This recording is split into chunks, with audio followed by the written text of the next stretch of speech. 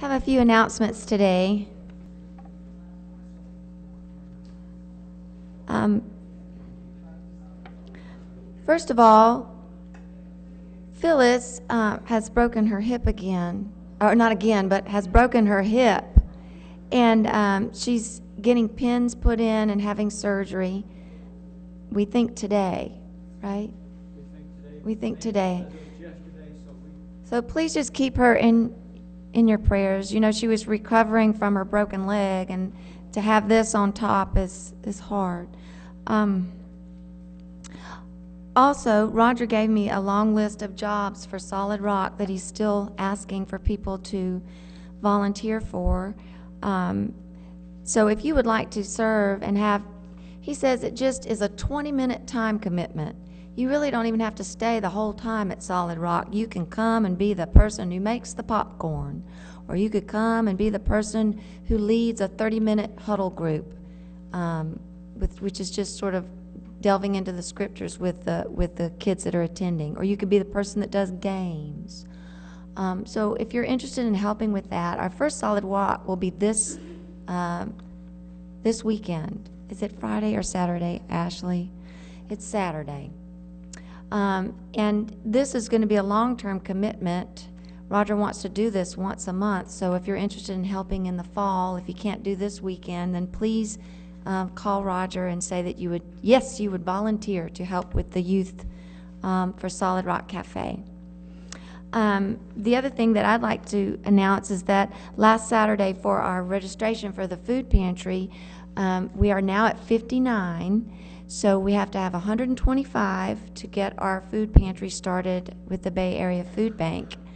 If you know of anyone who could benefit from that, have them contact me or to come the day of our next registration, which you may have seen on the sign outside, July 14th. We're going to have another one to try to get our 125 families that we can serve with the food pantry.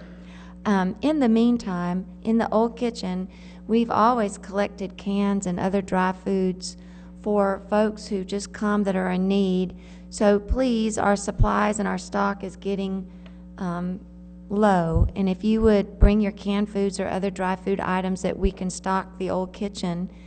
Um, and not that we're going to do away with that when our pantry comes. This is in addition to. So we don't want to turn anybody away if they don't come on a food pantry day. They, you know, we want to have that stocked up in the back. So please um, bring your food pantry items because that falls in line with our initiative to abolish poverty and end suffering.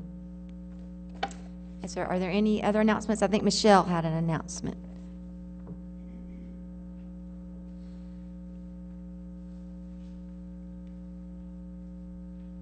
First of all, I'd like to say that Ricky is out of the hospital and he has no external devices attached to him now. So he's real happy with that. When y'all were coming in, I don't know if you saw the Boy Scouts are going out on a camping trip. He's going with them. So hopefully he'll be doing fine. Um, the infection's all gone, so he's doing well. He's also going to be going to Camp Scamp to work as a counselor. And part of their thing is to sell raffle tickets. And with him not being here today, um, he asked me to sell raffle tickets. They're one for $2 or three for five, and the raffle is for a $250 Walmart gift card. So if you'd like to help Ricky out, just see me after church.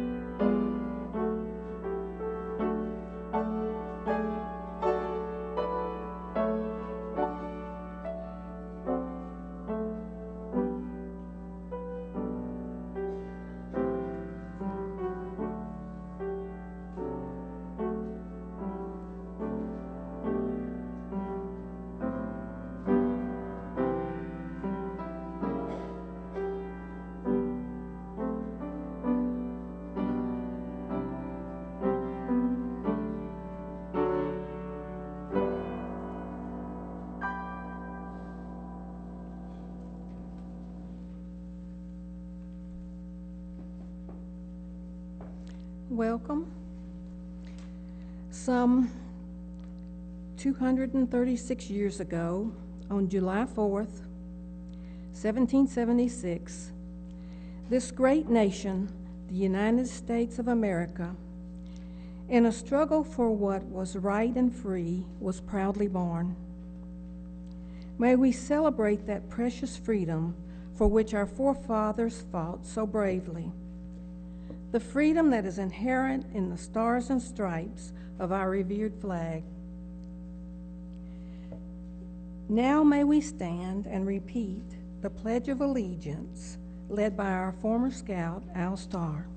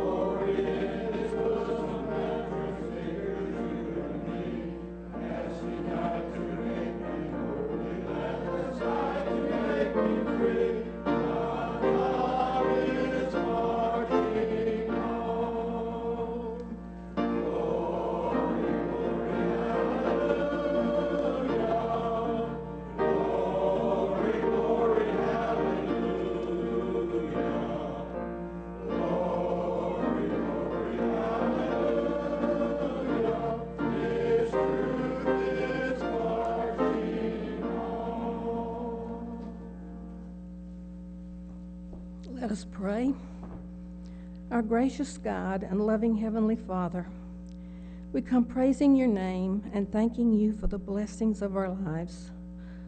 Father, you are the great I am, providing our needs even before we ask. Thank you for your tender love and mercy. Father, we thank you for those who have come expectantly to receive your blessings this morning. May your Holy Spirit grace all of us as we prepare to receive your Holy Communion. Bless John this morning as he brings the message you have placed upon his heart. Give him clearness of word and thought. Embrace him with your Holy Spirit. In this special service, Lord, we give thanks for our forefathers who gave their all that we might experience freedom from tyranny. It is because of their willingness to give of their resources and even their lives that we can come here today and worship. Thank you, God, for, you, for their devotion to you and your word. We pray all of these things in the name of your precious Son, Jesus the Christ. Amen.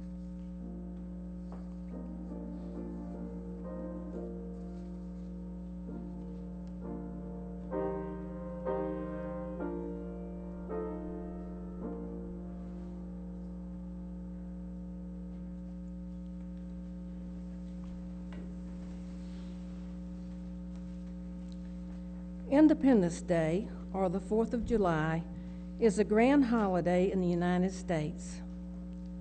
This holiday is a fa- favorite of young people who especially enjoy the colorful and noisy fireworks. Many wear their red, white, and blue, wave flags, and sing patriotic songs as they plan their barbecues and family gatherings. These are but a symbol of the meaning behind the Fourth of July celebration. This day of celebration came about as a result of the valiant efforts and strong commitment of our American forefathers. Amazing changes and events have occurred since that day in 1776. However, very important changes and dramatic events also occurred prior to July 4th, 1776. Brave and restless people, uprooted from their lives, left everything behind, crossed the Atlantic to come to a new land where they sought freedoms and rights not available in their homelands. They formed settlements here and organized into towns and colonies with their own laws and rules and the ideals were being formed for a new free land. The vote to become an independent country actually occurred on July 2, 1776, by the Continental Congress in Philadelphia, Pennsylvania. The Congress formally approved the document on July 4, 1776, and it was to be called the Declaration of Independence.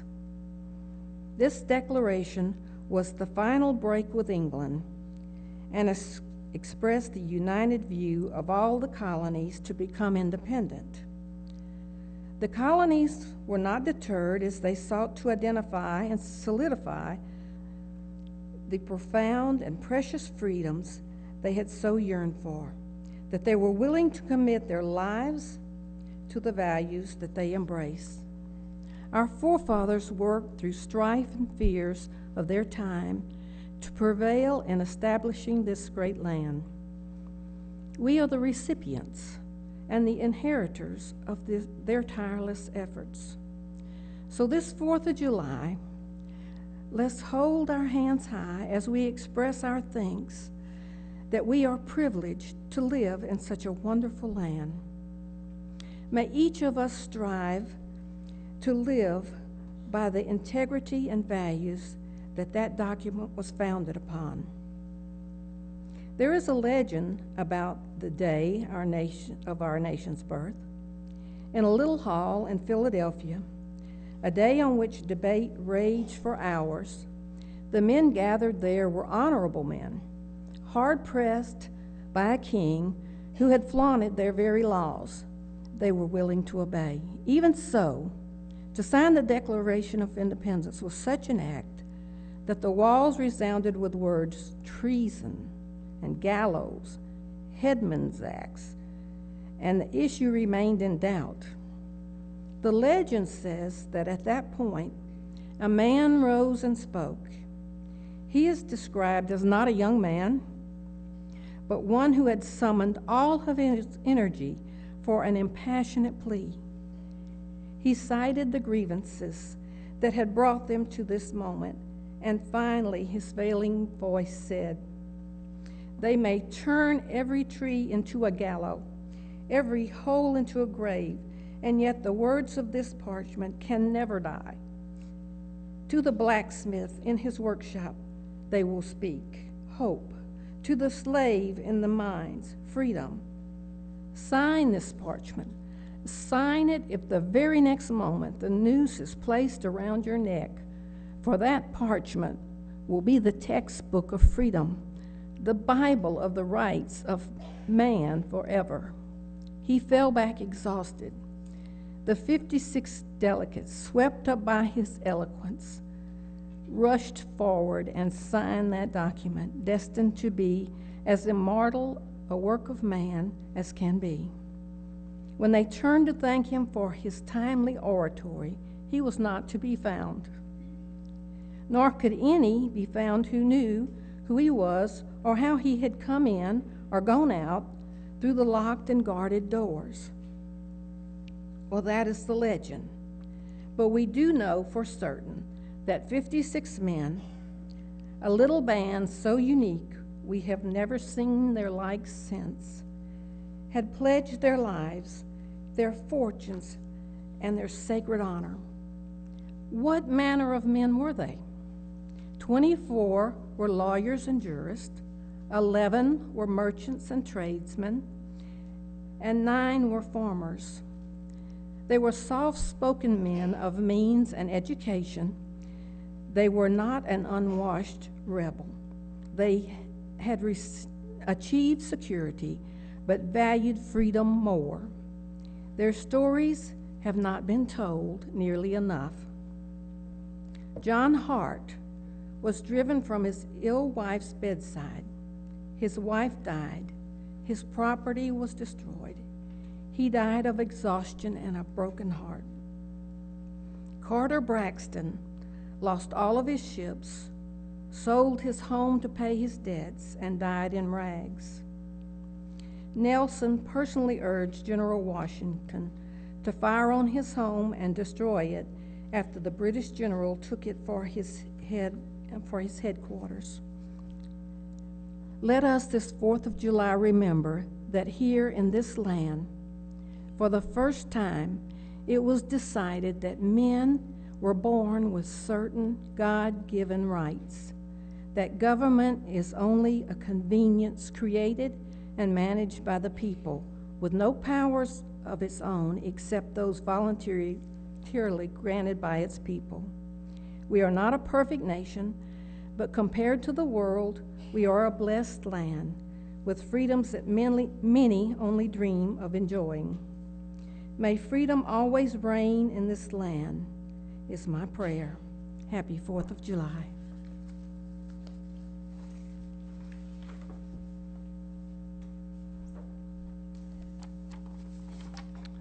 The poem that I am going to read is entitled Freedom in America. Freedom is a breath of air, pine scented or salty like the sea. Freedom is a field new plowed, furrows of democracy. Freedom is a forest, trees tall and straight as men. Freedom is a printing press, the power of the pen. Freedom is a country church, a cathedral's stately spire. Freedom is a spirit that can set the soul on fire. Freedom is a man's birthright, a sacred living rampart, a pulse beat of humanity, the throb of a nation's heart.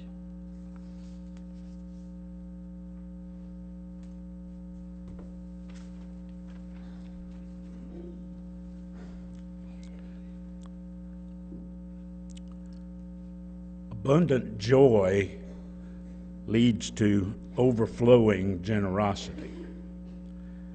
I'd like to read to you from 2 Corinthians. We want you to know, brothers and sisters, about the grace of God that has been granted to the churches of Macedonia. For during a severe ordeal of their affliction, their abundant joy and their extreme poverty have overflowed in a wealth of generosity on their part. For as I can testify, they voluntarily gave according to their means, and even beyond their means, begging us earnestly for the privilege of sharing in this ministry to the saints.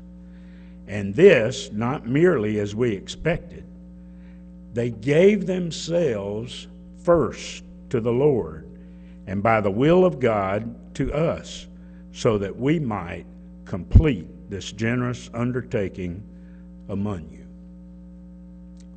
These uh, folks in Macedonia, we can hold them up as an example of abundant giving by a group of people. Now, this is a bunch of folks that's living out there on the edge. They don't have much. They, uh, in in terms of material wealth, and usually we think about uh, material wealth with uh, associated with our abundant giving. However, they they gave anyway, and they did it gladly, and they did it generously. They gave not only their money, but most importantly, they gave themselves. Primarily, they gave themselves to the Lord. And once they did that, once they gave themselves to the Lord, the rest was easy. Well, maybe easier. Well, maybe the word's possible. Possible. Uh, and it can be for us too.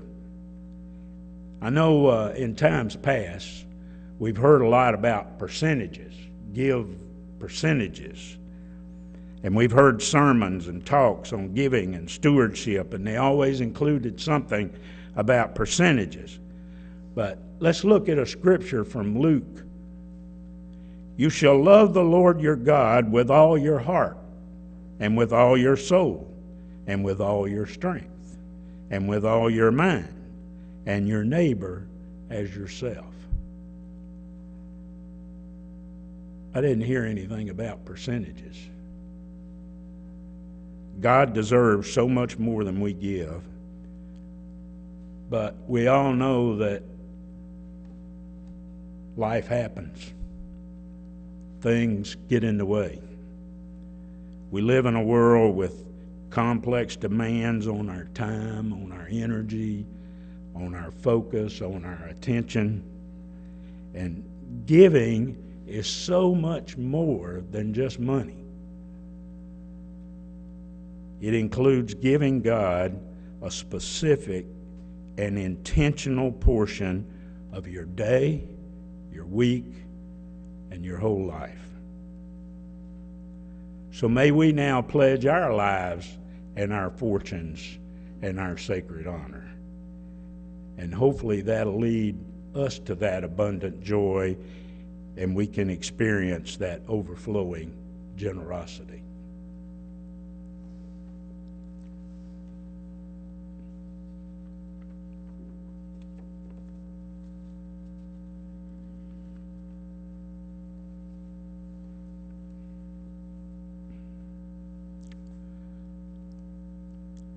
Almighty God, we give thanks for the privilege of being able to return a portion of those blessings that you have uh, uh, so richly blessed us with.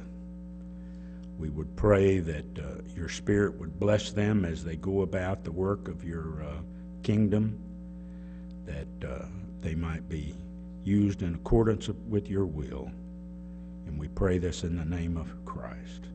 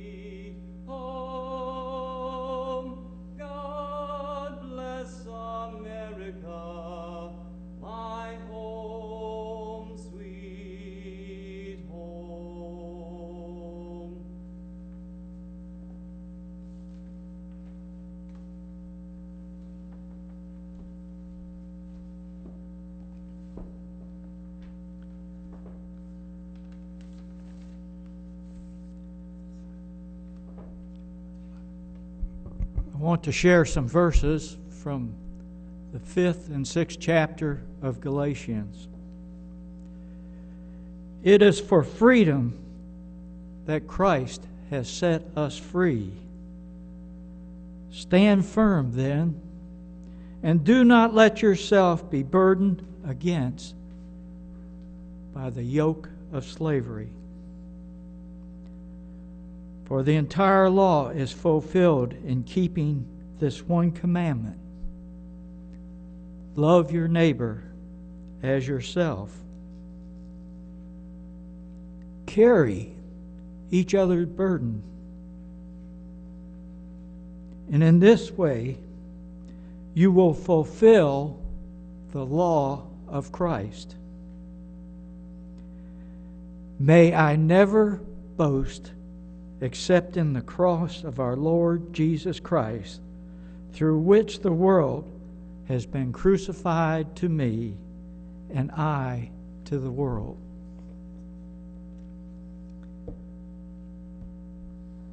Can anybody tell me who William Wallace was? Thank you.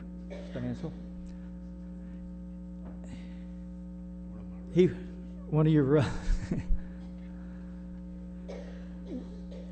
as Stancil quoted, the movie Braveheart, but he was a real person. He lived back in the 13th century. He was a Scotsman. And uh, he was a firm believer in freedom. And in the movie, and also quotations, if you get on different blog sites, just prior to the first big battle they were going to have with the English, and they were far outnumbered, the Scotsmen, he rode a horse in front of the gathered Scotsmen, and he said, I'm William Wallace. One of the men said, You can't be, because in real life he was short in stature. The William Wallace we heard about has to be seven foot tall. He says, I am William Wallace, a fellow countryman, and I see countrymen that I'm proud to be with. And one of the men said, Why should I fight today? I could just go home and live. And this was his response A, fight, and you may die. Run, and you'll live at least a while. And dying in your beds many years from now, would you be willing to trade all the days from this day to that for one chance? Just one chance to come back here and tell your enemies they may take my life, but they'll never take our freedom. What is freedom? Can we be truly free? As Alice shared, our founding fathers believed that freedom was valuable. enough to risk everything. They risked their fortune, as she shared with you. They risked their reputation. They risked their honor. They risked their very lives. And many of them paid for this freedom not only with their blood, but with the blood of their children. Today, we live in the security and comfort of said freedom because of hundreds of thousands of our fellow countrymen and women over the years not only gave service for their country, but also shed their blood on foreign soils. They died in isolated places with names not remembered so that we can enjoy the experience of freedom, the responsibility of that freedom. In fact, in the news media has reported over the last couple weeks that there has been several more that have died. So that you and me, you and I, Louise would correct me if I said you and me, you and I can share in the taste of the fruit of freedom that springs from the tree of liberty that was planted some 200 years ago. Freedom is an important concept in the United States. We all speak of our freedoms and cherish them, recognizing that in many countries such freedoms do not exist. We have the ability to choose for ourselves what kind of lives we shall live and what kind of people we will be. As Americans, the document of freedom for us is found, as Alice shared, in the Bill of Rights. It outlines what freedom we have, they cannot be repealed. Let us look at one of those freedoms that is granted to us as citizens of America and compare them with the scriptures I have shared with you today. The First Amendment guarantees Americans the freedom of religion.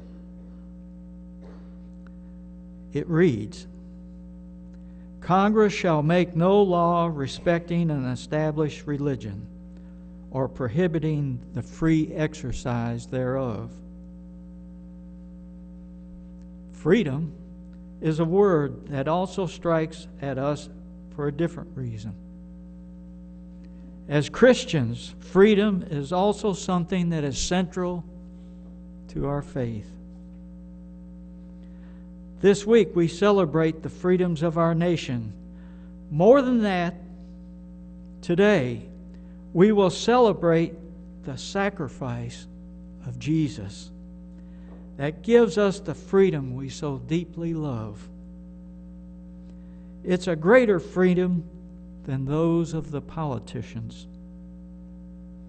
It's a freedom we can have if we place our faith in our lives in Jesus Christ. Doing this frees us from the slavery of sins. We are not free on our own, but we are free only by our willingness to give all we are to Jesus Christ. Because of that, we become a free people. Not under any sort of law that we must keep in order to earn the salvation. For it is by God's grace through Jesus that we are free from the burden of sin. Being free from our sin does not mean we are free to exercise religion any way we see fit. Let us look at Paul's letter to the Galatians. In verse 2 of chapter 6, he says, Carry each other's burdens, And in this way, you will fulfill the law of Christ.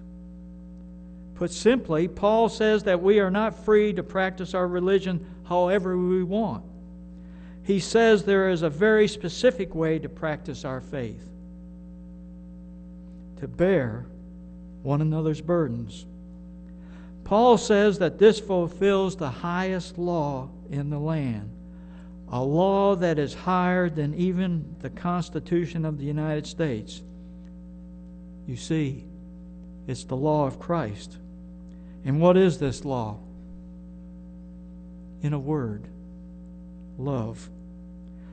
We can find no deeper, no higher, no wider practice of love than when we bear the burdens of one another. The law of Christ frees us from selfishness in order that we may experience the joy that can be only found in the deep, meaningful relationships. Relationships that are not afraid to share the burden of each other. Just as Christ carried the burden of our sins, we must carry each other's burdens. Was I free to do whatever I wanted to do with my life and with my time these past few weeks? Absolutely not. I was bound by this Christ, this law of Christ, to bear the emotional burdens of those died, those who were illness in, a, in our congregation as many of you did. But you know, you and I would not have it any other way. Were we free to do whatever we wanted? No. But we were free to love this, our church family, in their time of grief and pain. It is because of the bond of Christ that we are free to go and share those moments to comfort them. And each of us has done the same in the past, and yes, even will do it in the future. Just look at our congregation prayer list or even your personal prayer list. There's a song, God forgave my sins.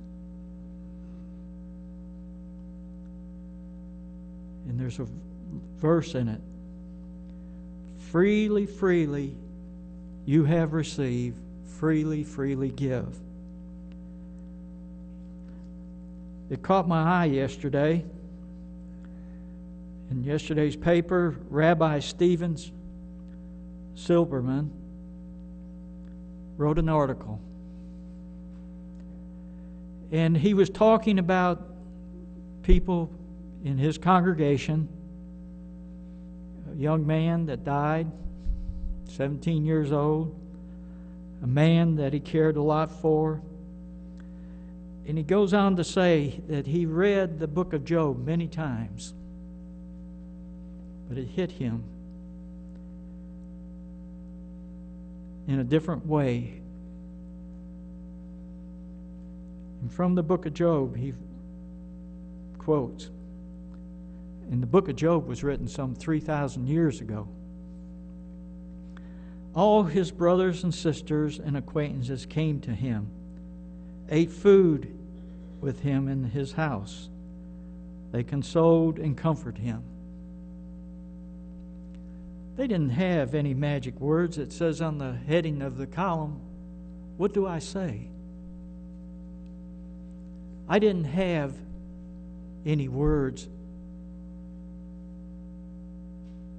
to comfort those in the loss of a loved one. But I was there as you were there. Just being present in someone's life helps them carry that burden. The freedom of Christ is like that. It allows us in our daily lives, as the song says, to receive at times. But it also allows us to give in order that we may experience the true freedom. At times, our time is not our own, in order that we may be free to fulfill the law of Jesus Christ, which is love. We have been given other freedoms, such as not to worry about the cares of this world, or the freedom to call upon God in prayer.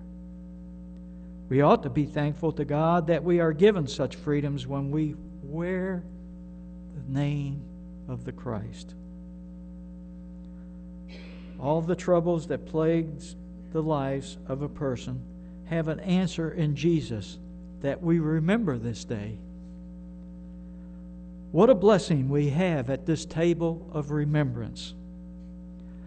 As we partake of this bread and wine, let us remember the freedom that Jesus has given to us as we live our lives in service to others.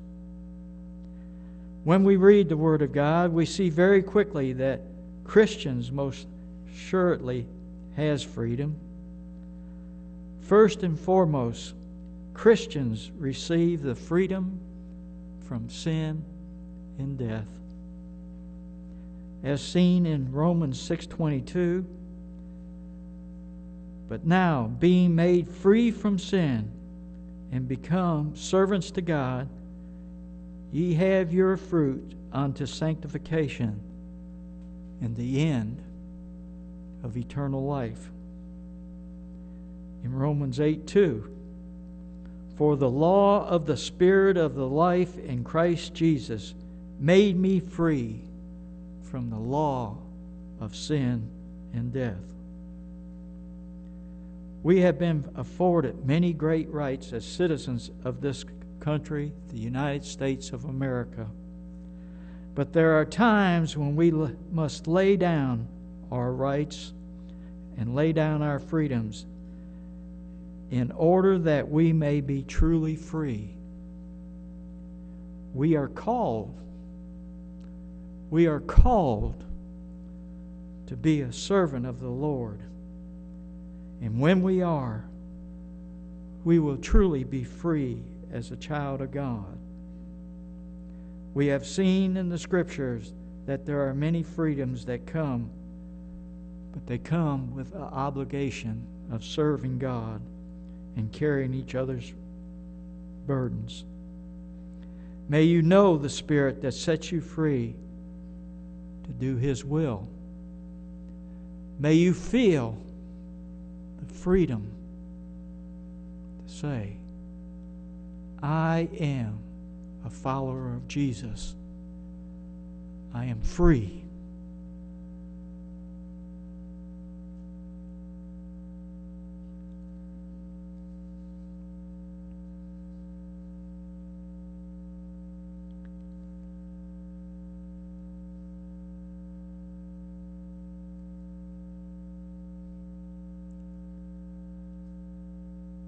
Bare my soul.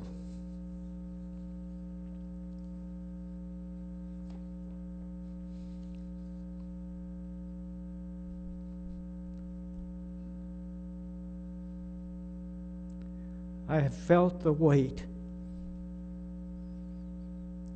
of sin in my life.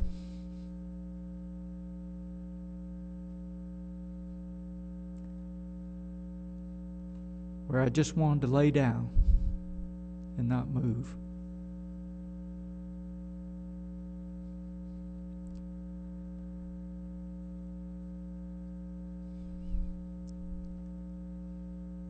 But the Spirit didn't let me. It prodded me. It caused me realize that the forgiveness that I thought wasn't there was beyond my personal being. It was beyond my personal being.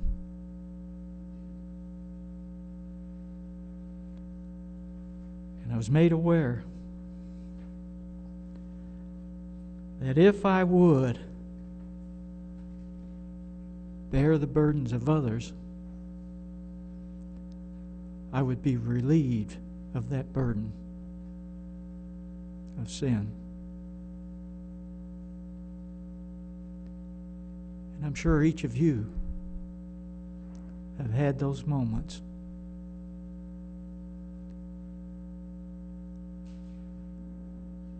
We'll never know what words,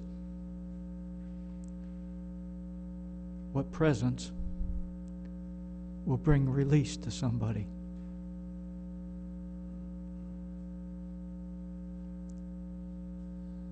I see some of you shaking your heads.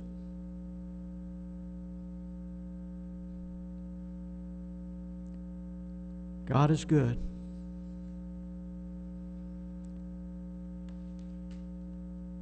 God is good.